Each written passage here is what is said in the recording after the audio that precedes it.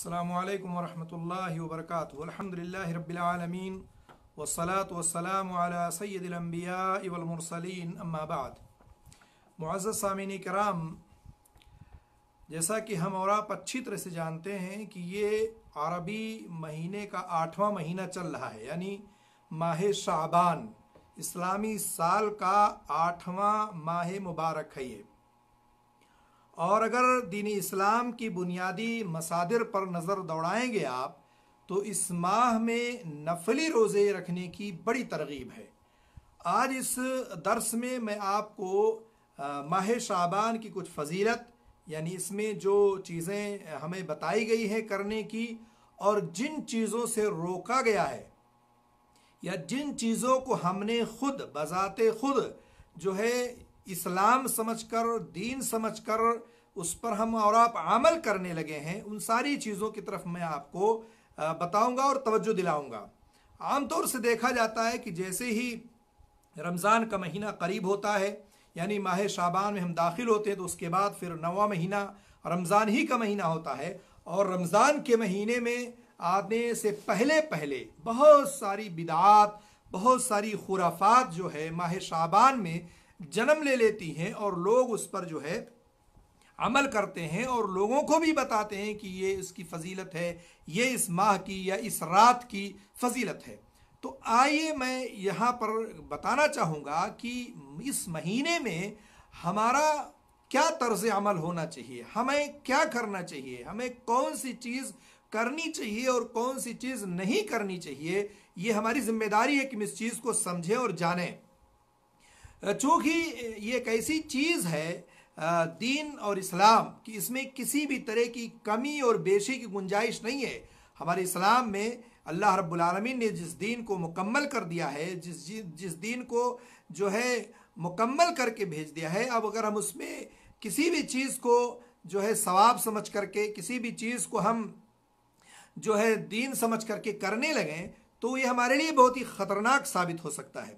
तो सबसे पहले ये माह मुबारक जो है, इसमें हमारे लिए कौन सी चीज़ अफजल है, कौन सा काम करना है, या इस महीने में कौन सी चीज़ करनी हमारे लिए ज़रूरी है, वो चीज़ समझें। उसके बाद फिर हम बताएँगे कि इस महीने में कौन सी ऐसी चीज़ है जो बिदात और खुराफात है, जो हमारे लिए ख़तरनाक है और हमें वो काम नहीं करना चाहिए।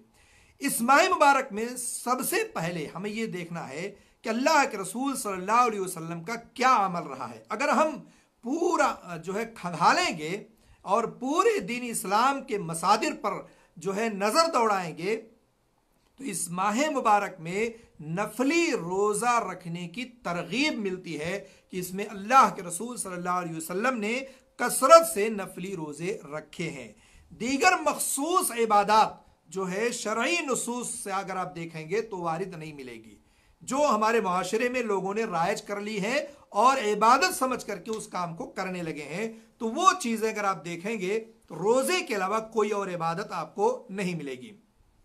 इस माह शाबान में हमारा क्या अमल होना चाहिए, क्या तर्ज होना चाहिए, तर्ज अमल क्या होना चाहिए, इसमें माह, जो है, इस माह में शरीत इस्लामिया हमसे क्या तकाजा करती है, उसी चीज़ को जानना ज़रूरी है। अगर माह शाबान को हम अहादीस की रोशनी में देखेंगे, अहादीस की रोशनी में अगर आप इसको देखेंगे तो कई एक हदीसें आपको मिलेंगी लगातार कि अल्लाह के रसूल सल्लल्लाहु अलैहि वसल्लम ने इस महीने में कसरत से रोजा रखा है। सैयदा आयशा रदी अल्लाह तला की वो रिवायत, जो सही बुखारी और सही मुस्लिम में मौजूद है, फरमाती है कि अल्लाह के रसूल सल्लल्लाहु अलैहि वसल्लम को मैंने कभी भी माह रमज़ान के अलावा किसी दूसरे माह में या किसी दूसरे माह के मुकम्मल रोजा रखते हुए नहीं देखा। और मैंने नहीं देखा कि आप शाबान के अलावा किसी दूसरे माह में कसरत से नफली रोज़े रखते हो। तो मालूम यह हुआ कि रमज़ान का महीना जो है, अल्लाह के रसूल सल्लल्लाहु अलैहि वसल्लम मुकम्मल उस महीने में रोजा रखा करते थे और हर मोमिन पर यह फ़र्ज़ है, हर आकिल बालिग मुसलमान पर फ़र्ज़ है कि वो आदमी जो है रमज़ान का महीना पाए तो उसमें रोजा रखे। लेकिन नफिल रोज़े की जो बात है, हज़रत आयशा रदी अल्लाह फरमाती हैं कि अल्लाह के रसूल नफिल रोजा कसरत से शाबान के महीने में रखा करते थे। किसी और महीने में अल्लाह के रसूल सल्लल्लाहु अलैहि वसल्लम इतनी कसरत से रोजा नहीं रखा करते थे। तो मालूम यह हुआ कि इस महीने में कसरत से रोजा रखना चाहिए, चूँकि इस महीने में अल्लाह के रसूल कसरत से रोजा रखा करते थे।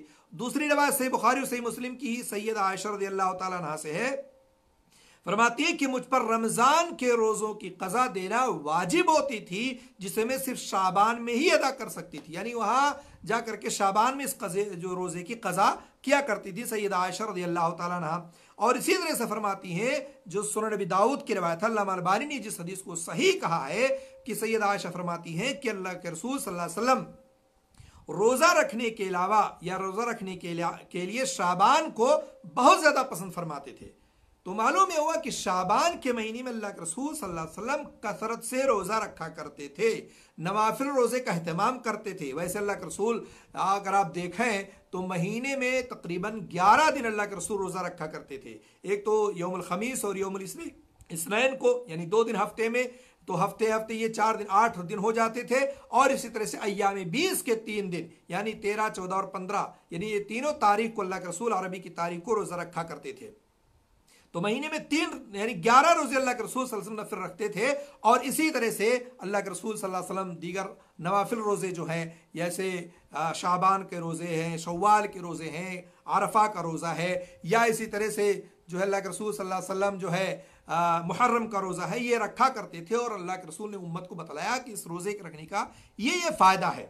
तो हमें भी चाहिए कि हमें अगर मौका मिले रमज़ान के रोज़ों के अलावा तो हमें भी चाहिए कि हम इन रोज़ों को रखें। यह हमारे लिए बहुत ही अहम है। इसमें हम गफलत ना बरतें। इसमें अगर हम गफलत बरतेंगे तो बहुत बड़ी नेकी से, बहुत बड़े अद्र से हम महरूम हो जाएँगे।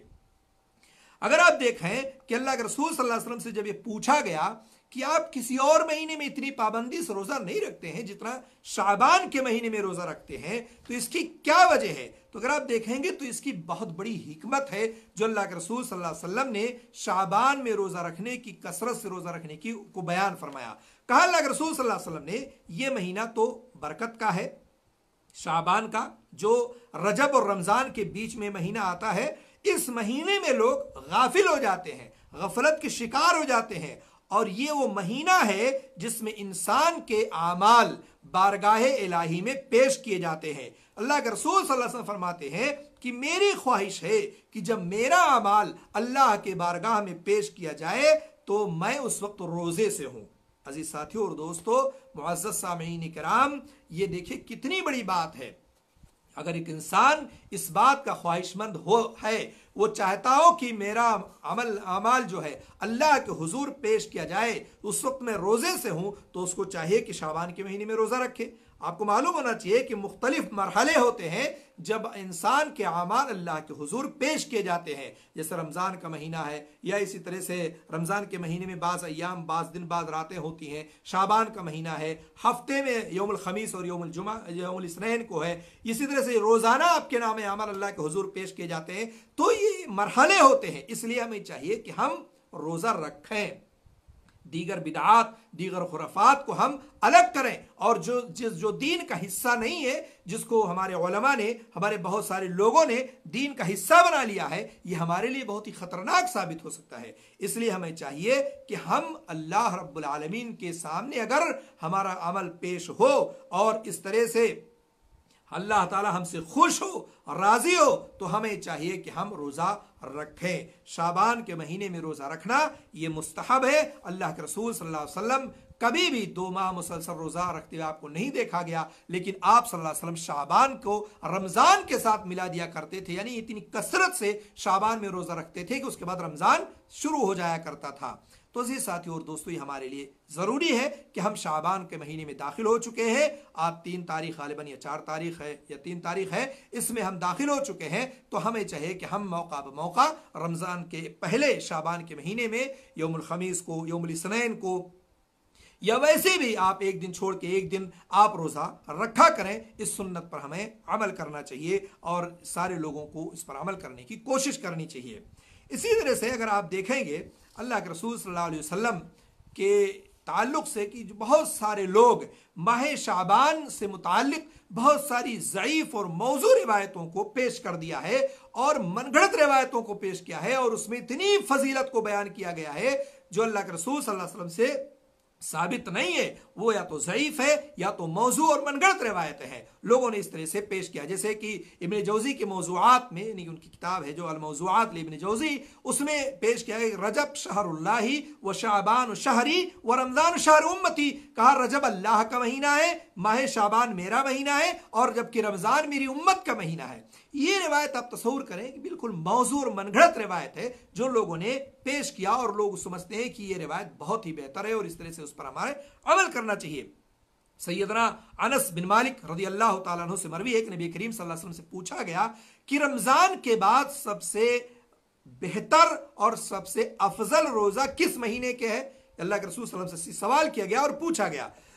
तो आप सल्लल्लाहु अलैहि वसल्लम ने क्या फरमाया? माह रमज़ान की ताजीम करते हुए माह शाहबान में रोजा रखना अफजल है। ये रवायत भी लोग पेश करते हैं। ये रवायत गरीब है और इसमें कई कमी और कोताही है, जिसकी बिना पर मुहदसिन ने इस रवायत को ज़यीफ करार दिया है।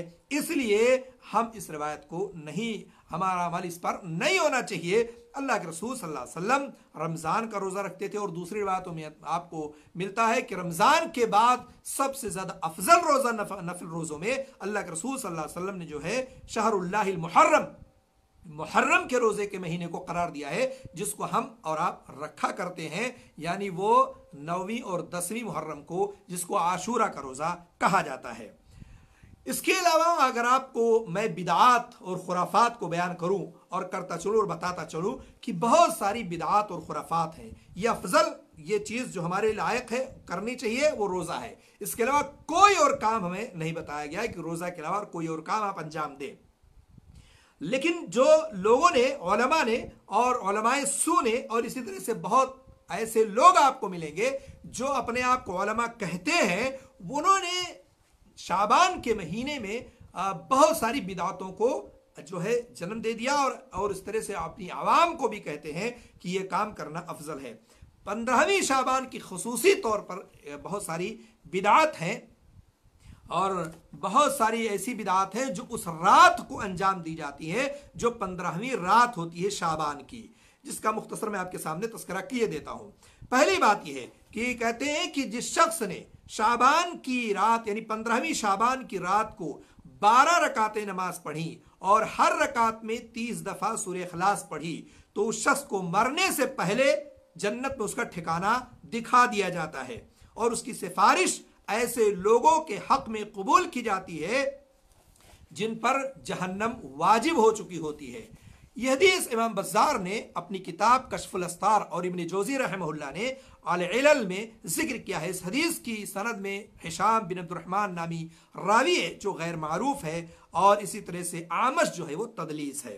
इस तरह से यानी ये हदीस ज़यीफ़ है। इमाम जोजी रहमहुल्ला ने इस हदीस को अपनी अलमौजुआत में ज़िक्र किया है और अल्लाह इबन क़य्यम रहमहुल्ला ने भी अलमनारमुनीफ में भी इस रवायत को मौजू करार दिया है। तो गोया कि इस तरह से कोई रात नहीं है कि उसमें आदमी इतनी रकात पढ़े और इतनी दफ़ा सूरत पढ़े और इस तरह से जो है फला फला फला फला लोगों को जो है जिस पर जहन्नम वाजिब हो चुकी है और उसको जो है बख्शवा ले और उसको जन्नत में दाखिल करवा दे। ऐसी कोई रवायत सही नहीं है और ये दुरुस्त नहीं है।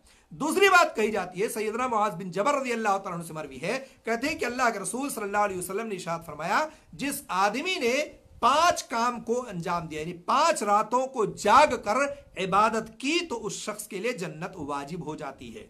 वो पाँच चीज़ें क्या है?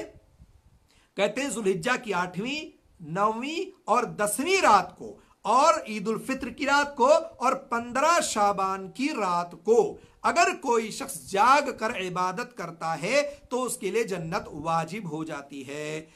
इस हदीस को इमाम ने आसिम रहमल्ला ने असन्ना में, इमाम ने हब्बान रहमल्ला ने अलहसान में और इमाम तबरानी रहे मजमूजवायद में ज़िक्र किया है। इस रिवायत की सनद में भी बहुत सारे रावी ऐसे हैं जो उसको मुख्तसर में बयान करता चलता हूँ कि जो है वो मारूफ गैर मारूफ है और इसी तरह से मुरसल है और इसी तरह से इमाम जहबी ने और मकहूल और इमाम मालिक वगैरह ने जो है इसको मुनक़ा करार दिया है इस तरह से ये हदीस सनत के अतबार से बहुत सारी इसमें कमियाँ और कोताहियाँ जिसकी वजह से ये रवायत भी ज़यीफ़ है और अल्लामा अलबानी रहमहुल्ला ने ज़यीफ़ तरगीब तरहीम में भी इसे ज़यीफ़ करार दिया है।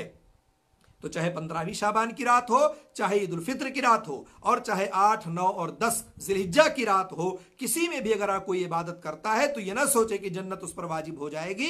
ये रिवायत ज़यीफ है। किसी भी मखसूस रात की इबादत को अल्लाह के रसूल वसल्लम ने यहाँ नहीं ज़िक्र किया है और नहीं बताया है। तीसरी बात, तीसरा जो है, ज़िक्र किया जाता है, सैयद आयशा रदी अल्लाह वाली रिवायत। बहुत मरूफ और मशहूर रिवायत है कि अल्लाह के रसूल सल्लल्लाहु अलैहि वसल्लम को हज़रत आयशा ने एक रात अपने हुजरे में नहीं पाया। आपकी तलाश में वो निकल पड़ी। कहती है कि अचानक मैंने अल्लाह के रसूल सल्लल्लाहु अलैहि वसल्लम को बकी नामी कब्रस्तान में जो है जा करके देखा जो देखा तो आप सल्लल्लाहु अलैहि वसल्लम अपना सर मुबारक आसमान की तरफ़ उठाए हुए थे और आपने मुझे फरमाया कि तुम्हें क्या डर था कि मैं जो है अल्लाह और उसके रसूल तुम्हारे साथ जुल्म करेंगे? मैंने जवाब अर्ज़ किया, मैंने गुमान किया कि आप किसी दूसरी बीवी के यहाँ अजवाज मतहरात में से किसी किसी और के पास आप तशरीफ़ ले गए हैं। आप सल्लल्लाहु अलैहि वसल्लम ने फरमाया कि अल्लाह ताला पंद्रह शाबान की रात को आसमान दुनिया पर नाजिल फरमाता है और जो है कबीले कल्ब की बकरियों की बालों से भी ज़्यादा लोगों को माफ़ फरमा देता है। ये रिवायत बयान की जाती इस हदीस को इमाम माजा ने अपनी सुनन में, इमाम अहमद ने मुस्ंद अहमद में और इमाम तिरमिजी ने सुनन तिरमिजी में ज़िक्र किया है और इसके बाद जो तबसरा किया है वो ये है कि इस हदीस को हज्जाज बिन अरतात की सनत से जो रिवायत की है और ये इमाम बुखारी ने इसे सुना है, आपने इस हदीस को ज़यीफ करार दिया है। क्योंकि इसके दो रावी, यहिया बिन अबी कसीर और हज्जाज का बितरतीब उर्वा और यहिया बिन कतीर से सिमा साबित नहीं है। इसलिए यह हदीस ज़यीफ है, इस पर भी अमल नहीं किया जाएगा। इमाम ने जौजी रहमल्ला ने भी इसकी मुतद तरीके से जो है इस हदीस को जो है ज़यीफ करार दिया और सनदन कहा यह साबित नहीं है। इसके अलावा एक रिवायत और पेश की जाती है सैदना अली रज़ी अल्लाह तु की। फरमाते कि अल्लाह के रसूल सल्लल्लाहु अलैहि वसल्लम ने फरमाया, जब पंद्रहवीं शाबान हो तो उसकी रात को कयाम करो, दिन में रोजा रखो, क्योंकि बारी तालाश उस रात को गुरूब आफ्ताब के वक्त आसमान दुनिया पर नाजिल होता है और यह आवाज़ लगाता है कि है कोई मकफरत का तलबगार कि मैं उसको बख्श दू। है कोई रिज्क का ख्वाहिशमंद कि मैं उसको रोजी से नवाज़ दूँ? कोई मुश्किल में गिरफ़्तार कि मैं उसे आफियत दूँ? ये निदाय रहमानी तुलुए फज्र तक जारी और सारी रहता है। यानी गुरूब आफ्ताब से लेकर के तुलुए फज्र तक पूरी रात। इब्न माजा ने इस रवायत को नकल किया है। इस हदीस की के ताल्लुक से अगर आप देखेंगे तो इसके सिलसिले सनद में भी जो है अबू बकर बिन अभी सरनामी रावी है, जिस पर मुहदसिन ने जरा की है। इमाम नसई रहमल्ला ने तो इस शख्स को जो है मतरूक कहा है, और इमाम अहमद इबन मुइन ने इस पर जो है हदीस गढ़ने का हुक्म लगाया है कि ये रिवायतों को गढ़ा करता था, और इस तरह से लोगों के सामने पेश किया करता था। इसलिए यह रिवायत मौजू तक हो गई है। तो गोया की ऐसी कोई रिवायत नहीं मिलेगी आपको कि अल्लाह के रसूल, कि अल्लाह के रसूल ने फरमाया हो कि अल्लाह अल्लाह ताला तुलु जो है गुरूब आफ्ताब से लेकर के और तुलु आफ्ताब तो लोगों को पुकारता रहता हो। इसलिए अज़ीज़ साथी और दोस्तों, ऐसी कोई रिवायत नहीं मिलती। आप इसके अलावा दूसरी बात आपके सामने कि अल्लाह के रसूल ने फरमाया, अल्लाह रब्बुल आलमीन हर रात को, रात की तिहाई हिस्से में, आखिरी हिस्से में अल्लाह ताला नाजिल होता है। और अल्लाह ताला उस वक्त पुकारता है है कोई मुझसे मांगने वाला, मैं उसको दूँ है कोई मुझे जो है तलबगार बख्शिश का, मैं उसको बख्श दूँ। वो रिवायत आपके सामने दूसरी है और यहाँ लोग दूसरी तरीके से पेश करते हैं। इसके अलावा सैदना अबू मूसा शरी की रिवायत पेश की जाती है। कहते हैं कि अल्लाह के रसूल सल्लल्लाहु अलैहि वसल्लम फरमाते हैं कि अल्लाह ताला माह शाबान की पंद्रहवीं तारीख को बंदों की तरफ़ झांकता है और मुशरक और कीना परवर शख्स के अलावा तमाम मखलूक को बख्श देता है। यह रिवायत भी बड़े जोरों शोर से पेश की जाती है। सोनी बिन माजा ने इस रिवायत को नकल किया है। तो इस तरह से आप देखेंगे कि रिवायत को मुहदसिन जमहूर के नज़दीक सख्त ज़यीफ है। ज़यीफ जिद्दन, जिसको आप कहते हैं, सख्त ज़यीफ है। अल्लामा बोसरी सवायद बिन माजा में तारीफ़ फरमाते कि इस हदीस की सनद में अब्दुल्ला बिन लहिया के जोफ और वलीद बिन मुस्लिम की तदरीस के बाईस हदीस ज़यीफ है। तो ये रिवायत भी ज़यीफ है। अगरचे इसको अल्लाह अलबानी ने हसन करार दिया है, लेकिन कहते हैं कि अल्लाह अलबानी से यहाँ एक चूक हुई है और इसी तरह से इस तरह से उसकी तफसील अगर आप देखेंगे तो बहुत सारे के नज़दीक आपको मिलेगा कि इस तरह से अल्लाह के रसूल वसल्लम की हदीस भी ज़यीफ़ है। अल्लाह के रसूल ने फरमाया, सातवीं बात यह कि जो शख्स पंद्रहवीं शाबान की रात में सौ रकातें पढ़ता है, एक रिवायत यह भी पेश की जाती है, अल्लाह ताला उसकी तरफ़ सौ फरिश्ते भेजता है और तीस उसे जन्नत की खुशखबरी देते हैं। तीस फरिश्ते उसे जहन्नम से बचा लेते हैं और तीस उसे दुनियावी बलाओं से महफूज रखते हैं और दस फरिश्ते उसे शैतान के मकरो फरेब से महफूज रखते हैं। यह भी बिल्कुल मनगढ़ंत रिवायत है और ज़यीफ और तो दूर की बात है, मौजू जिसको लोगों ने अपने मिजाज के मुताबिक बना लिया है और गढ़ लिया है, इसलिए इस हदीस पर भी अमल नहीं किया जाएगा और इसको भी बालाए ताक रख दिया जाएगा और इसको दूर किया जाएगा। अब आइए देखते हैं कि शब बारात और असर हाजिर के मुसलमानों का हाल क्या है। शब बारात जो लोग मनाते हैं और बड़े धूमधाम से, बड़े ज़ोर शोर के साथ इसको मनाते हैं और बाकायदा एक त्यौहार के नाम पर इसको मानते हैं कि शब बारात का एक त्यौहार है, जबकि शरीयत ने हमें सिर्फ़ और सिर्फ़ दो त्यौहार दी है, एक ईद फित्र और एक ईद अजहा। लेकिन हमारे नाम निहाद मुसलमानों ने क्या किया है? कई एक त्यौहारों को जन्म दे दिया है, जैसे शब बारात भी एक त्यौहार मना लिया है, और इसी तरह से जो है मुहर्रम को भी एक त्यौहार मान लिया है, इसी तरह से बारह रबी अव्वल को भी एक त्यौहार मान लिया है। यानी इस्लाम में, दीन में जब अपनी बातें डालनी होती है तो जो चाहो आपकी मर्ज़ी, वो करो। शरीयत ने जिस चीज़ की हमें इजाज़त दी है, अगर हम उतना ही करें तो हमारे लिए काफ़ी और शाफी होगा। अब अगर आप उसमें घटाते हैं और बढ़ाते हैं तो आप तस्वूर कीजिए कि आपने किस कदर दीन इस्लाम को बिगाड़ दिया है और उसको मस्त कर दिया है और लोगों के सामने आपने उसको गलत तरीके से पेश किया है। मेरे अज़ीज़ साथियों और दोस्तों, शब बारात और असर हाजिर के मुसलमानों को देखेंगे आप तो पंद्रहवीं शाबान की रात में, जो उर्फ़ आम में इसको, जिसको शब बारात कहते हैं, शब माने रात होता है रात की रात यानी रात यहाँ शब बारात बारात वाली रात, यानी आज़ादी वाली रात, यानी इस तरह से इस रात के बारे में अमामुन्नास के दरमियान में बहुत सारी नज़रियात और बहुत सारे अकायद जो बिदात हैं और बदकीदगी है, वो रायज कर चुके हैं और राय यानी दाखिल हो चुका है जिसकी तफसील में आपको एक ही बात दिगरे बताता हूँ। सबसे पहली बात तो यह है कि इस रात में लोगों को यह तस्वुर होता है और यह तस्वुर दिया जाता है कि यह फैसलों की रात होती है। यानी ओलमाए कराम में वो ओलमा जो ओलमाए सू है, जिन्होंने दीन इस्लाम को अपने मकसद के तई बना लिया और गढ़ लिया है और इस तरह से कुरान हदीस की तावील कर करके उसको लोगों ने पेश किया है। आप तस्वर करें किस तरह से भोली भाली आवाम को लोगों ने गुमराह किया है। तो दुनिया परस्त के ओलमा जो हैं, वो इस तरह के काम करते हैं। कहते हैं, ये फैसलों वाली रात है और इसमें तमाम इंसानों की तकदीरों के फैसले होते हैं। बतौर दलील कुरान करीम की इस आयत को पेश करते हैं। जो सूर दुखान में, आयत नंबर तीन में है मुंजरीन यानी अल्लाह ताला ने फरमाया, हमने इसे बाबरकत रात में उतारा है और उसे हम बेशक हम डराने वाले हैं। अब आप तस्वर करें कि लैलत मुबारक कौन सी रात है? अल्लाह ताला ने कहा, शाहर रमज़ान फील कुरान। हमने कुरान को रमज़ान के महीने में नाजिल किया। उधर अल्लाह ताला फरमाता, इन्ना फ़ी लैलतिल कद्र।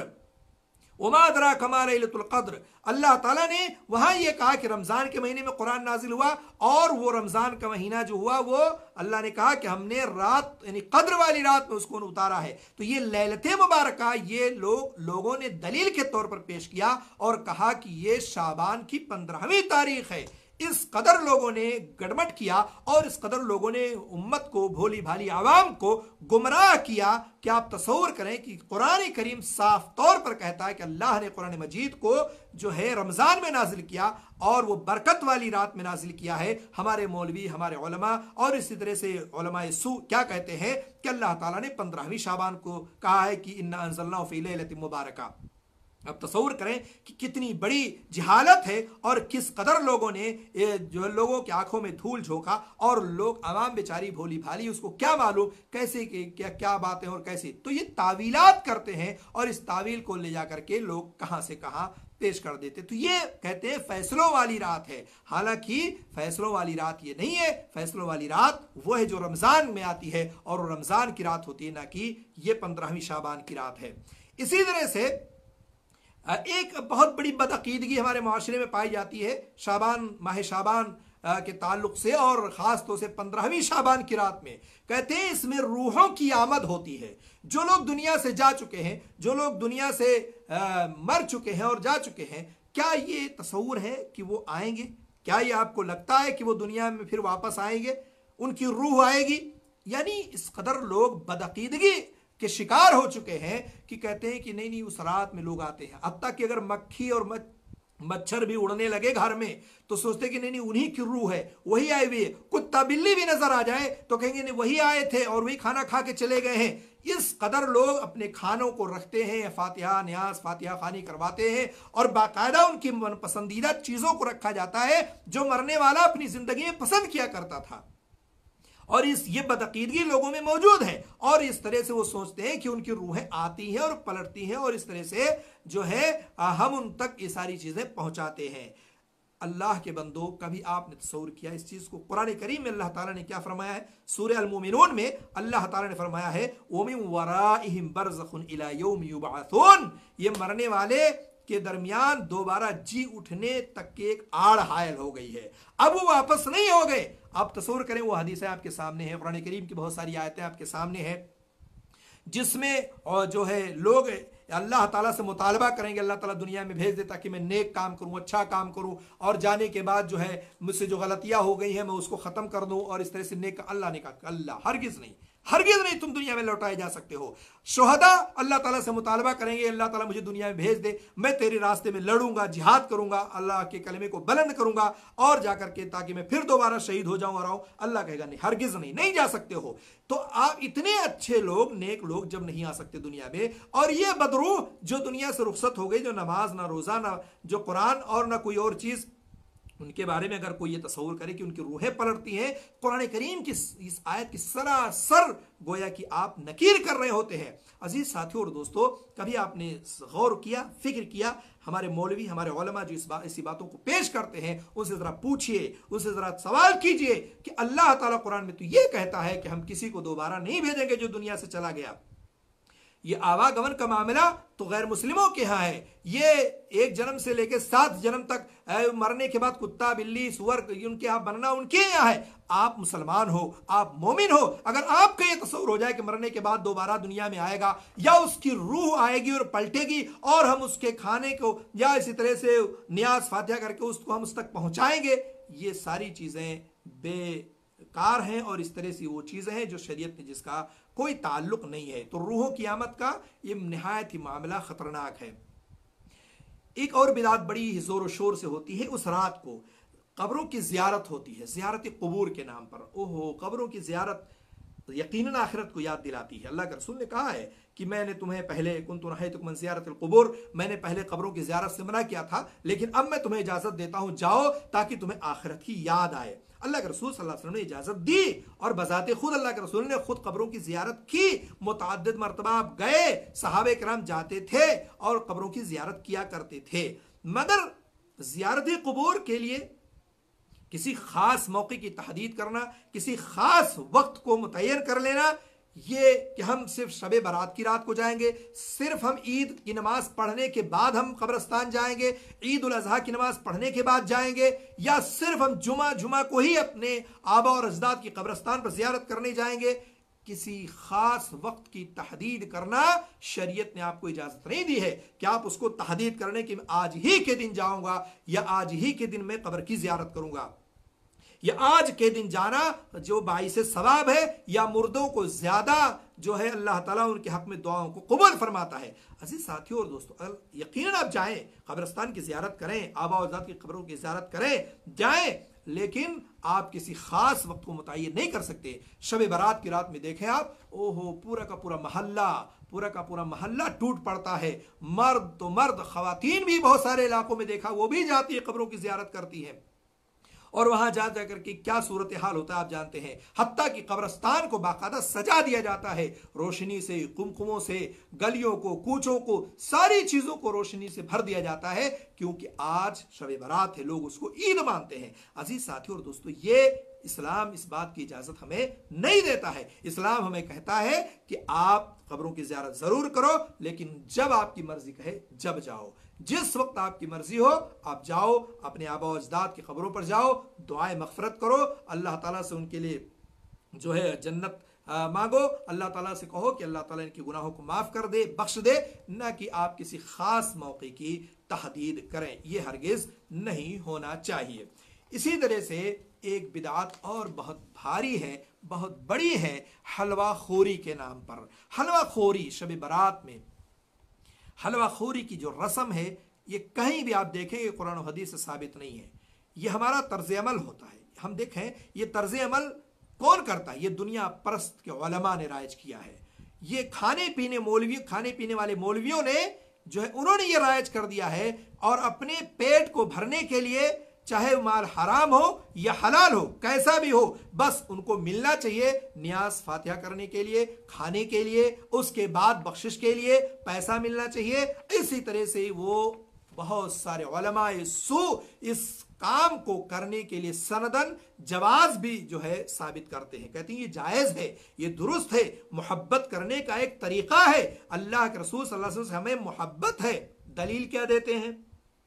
दलील देते हैं, कहते हैं, अल्लाह के रसूल सल्लल्लाहु अलैहि वसल्लम का दंदान मुबारक गजब उहद में शहीद हो गया था। इसलिए अल्लाह के रसूल सल्लल्लाहु अलैहि वसल्लम ने उस वक्त नरम गज़ा खाई थी और अल्लाह के रसूल सल्लल्लाहु अलैहि वसल्लम ने उस वक्त हलवा खाया था या ओएस करनी ने हलवा खाया था अल्लाह के रसूल की मोहब्बत में। इसलिए हम भी अल्लाह के रसूल सल्लल्लाहु अलैहि वसल्लम की मोहब्बत में हलवा खाते हैं। ये दलील है। ये दलील इतनी, यानी दावा ऐसी गलत है इनका, ये कि आप तस्वर नहीं कर सकते हैं। पहली बात तो आप देखें कि गजब उहद कब पेश आया। अगर आप मर्रखीन की तारीख को आप देखेंगे, सीरत निगारों की किताबों को आप उठा करके पढ़ेंगे, देखेंगे तो आप देखिए कि गजब उहद सन तीन हिजरी में शाबान के अलावा रमज़ान रमज़ान के बाद महीना आता है शवाल। शवाल के महीने में पेश आया। तो यानी ये दो महीना पहले ही मोहब्बत इनकी जाग जाती है। जैसे बारह रबी में पूरा साल मोहब्बत नहीं जागता है। वैसे ही पूरा साल उनको नारे, तकबीर, नारे रिसाल लगाने को फुर्सत नहीं है। और एक दिन उठते हैं, झंडा उठाते हैं और पूरे मोहल्ले, गली, कूचे, सड़क, बाज़ार, मार चौक सारे जगहों पर जा जा करके नारे, तकबीर, नारे रिसाल लगा करके और अपनी मोहब्बत को उजागर करते हैं और कहते हैं, हम मोहब्बत रसूल कर मोहब्बत रसूल, ये है ये और अल्लाह के रसूल से मोहब्बत करते हैं।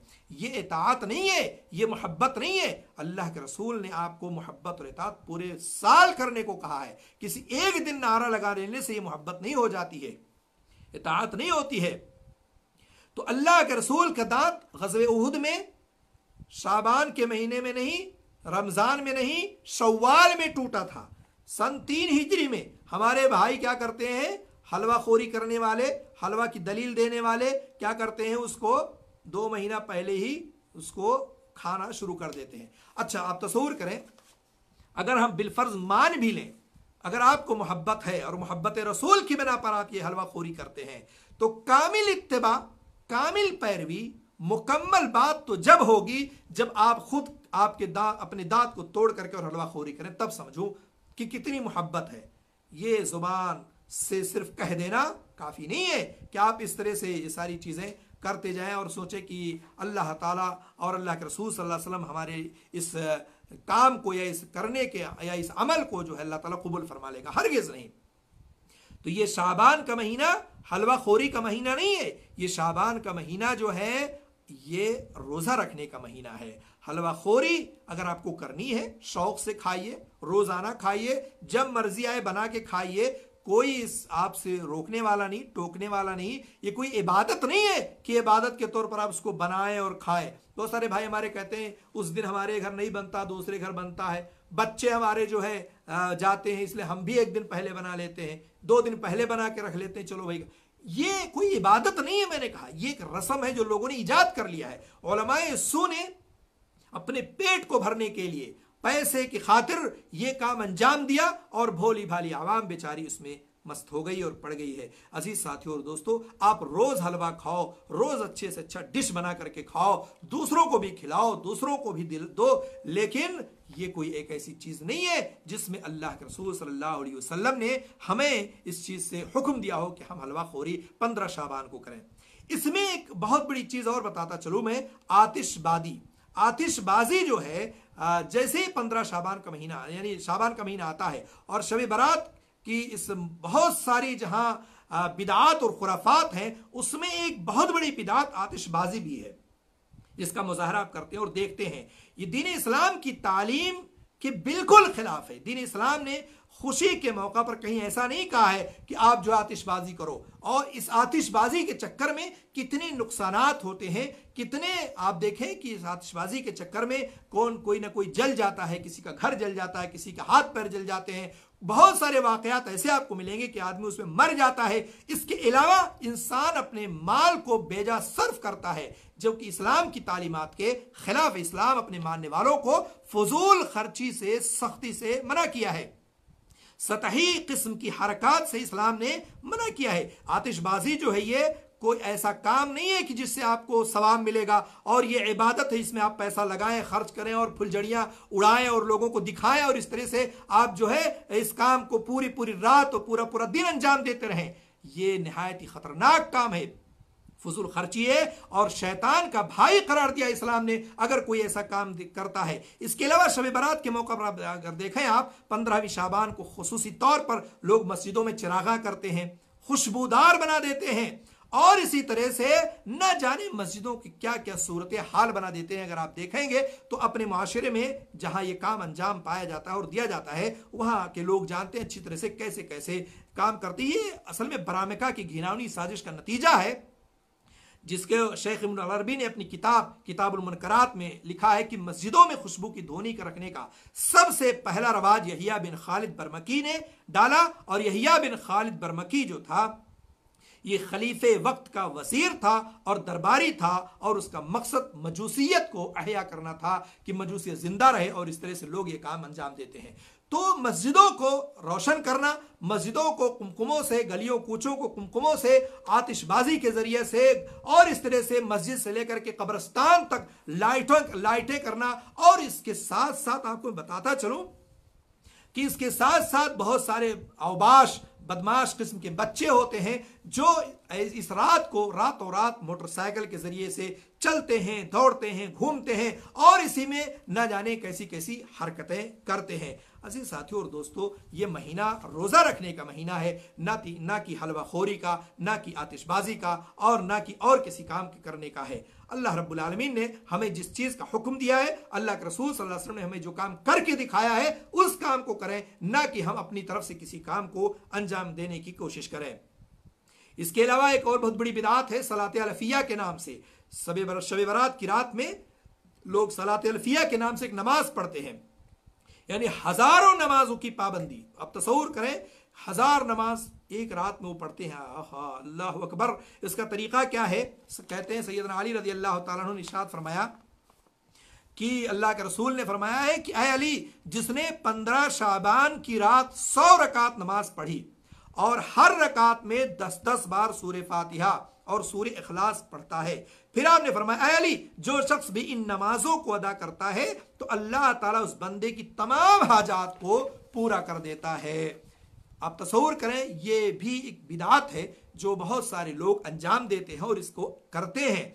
ये हदीस बिल्कुल मनगढ़ंत है, मौजू है, इसमें किसी भी तरह की कोई शक नहीं है। इसके तमाम रावी मजहूल है ज़यीफ जिद्दन है, यानी आप चाहे जो कह लें, आप हर तरह से रिवायत किसी भी तरह से काबिल कबूल नहीं है। तो यकीन मानिए, जब सलात अलफिया का कोई तस्वूर ही नहीं इस्लाम ने दिया है, इस्लाम तो वैसे भी बहुत सारी मशक्क़तों तकलीफ़ों से आपको दूर रखना चाहता है, लेकिन हमारे बहुत सारे भाई ऐसे हैं जो जानबूझ कर मशक्क़त व तकलीफ़ में पढ़ते हैं। इस्लाम ने कभी आपसे इतना मुतालबा नहीं किया कि मशक्क़त व तकलीफ़ में पढ़ें इस्लाम तो खुद कहता है फतकुल्ला तुम जितनी अल्लाह ने आपको ताकत दी है, उतनी आप जो है अंजाम दे, उतनी आप इबादत करें।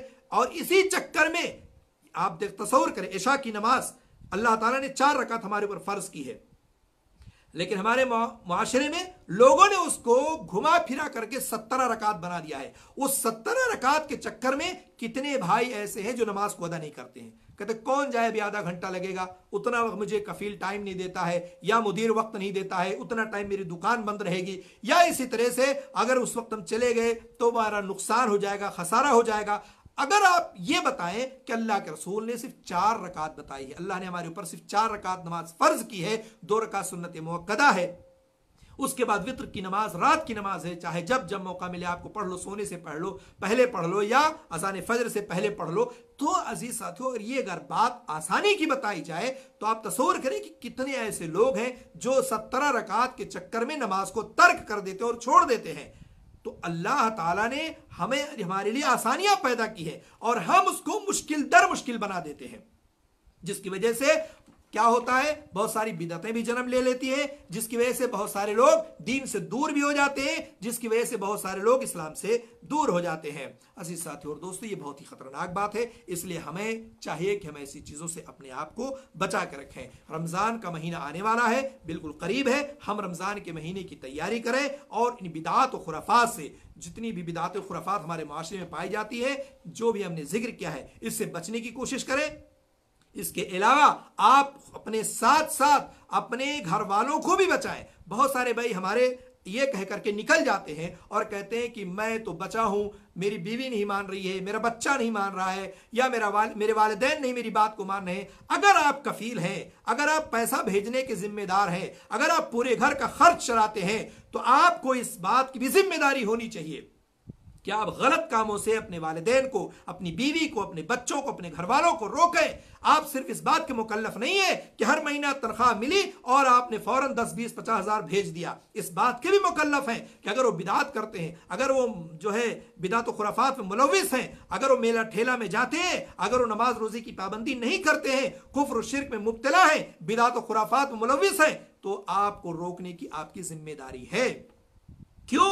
इसलिए कि आप सिर्फ़ पैसा भेजने की ज़िम्मेदारी नहीं, जिम्मेदार नहीं है। अल्लाह ने खुद कहा है कि लोगों ईमान वालों, खुद भी जहन्नम से बचो, अपने अहल वयाल और अपने बच्चों को भी बचाओ। बहुत सारे भाई हमारे इस तरह से कहते हैं और कहते हैं कि मौलाना साहब, बात नहीं मान रहा है कोई, हमारी बीवी नहीं मान रही, हमारे बच्चे नहीं मार रहे।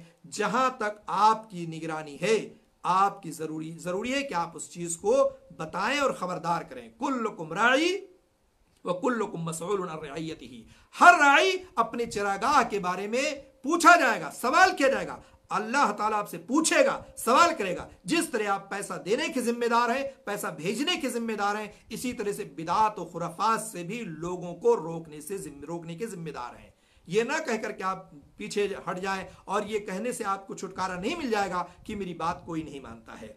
तो हर किस्म की बिदात और खुराफात से अपने आप को बचाए शाबान के महीने में कसरत से रोजा रखने की कोशिश करें, ज़्यादा ना रख सके तो हफ़्ते में दो रोज़े योमल खमीस और योमल इसनैन को रखें और मजीद रखना चाहें तो एक दिन छोड़ के एक दिन रोजा रखें या इसी तरह से आप अयाम बीस के रोज़े रख लें। इसके अलावा शाबान के बाद रमज़ान का महीना आने वाला है और हमेशा आप तैयार रहें, जहनी तौर पर कि अल्लाह ताला हमें वहाँ तक पहुँचाए कि हम रमज़ान के महीने पहुँचेंगे, उस महीने में कसरत से इबादत करेंगे, नवाफिल पढ़ेंगे, तरावी पढ़ेंगे, रोजा रखेंगे, तिलावत कुरान करेंगे, यानी अपने आप को जहनी तौर पर आपको बिल्कुल तैयार रहना चाहिए। तब जाकर के आप इबादत में जो है वो लज्जत पाएँगे, जो एक लज्जत इबादत करने वाले को मिलती है। तो अज़ीज़ साथी और दोस्तों, ये मुख्तसर सी नसीहत थी जो मैंने आपके सामने पेश किया है। अल्लाह रब्बुल से दुआ है, अल्लाह ताला हम सबको कुरान और सुन्नत का पाबंद बनाए, हर किस्म की बिदात से खुराफा से अल्लाह ताला महफूज रखे और अल्लाह रब्बुल ने जिस चीज़ को करने का हमें हुक्म दिया है और जिस चीज़ के करने से हमें रोका है, अल्लाह ताला उस पर करने की और उस पर रुक जाने की अल्लाह ताला हमें तोफ़ी फरमाए। आमीन रब्बुल आलमीन। अस्सलाम वालेकुम वरहमतुल्लाहि